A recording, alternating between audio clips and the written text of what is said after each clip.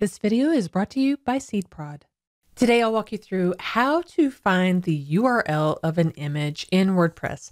This is perfect if you just need to know the image location so you can share it somewhere on your website, or if you need to share it on a social media platform, this will work for you. There are two different methods that you can use, so you can pick the one that works best for you. For instance, I am on my demo site, and here's an image here that I want to take a look at.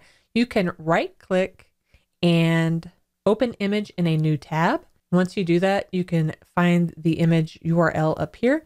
And you see it's normally adding the date as well as the name of the image. So you can just copy that image URL and now you have it so you can share anywhere. If you need to do it from the back end of your website, just take an idea of if you know what the name of the image is, then we can go to our dashboard area. From here, we want to go to media, library. And for this one, I know it's called something about services. This is the one I want. So when you click on it, it brings it up with all of the other information, as well as when you scroll down here, this is the URL. And you see it's the same one where you can copy it and now you have it.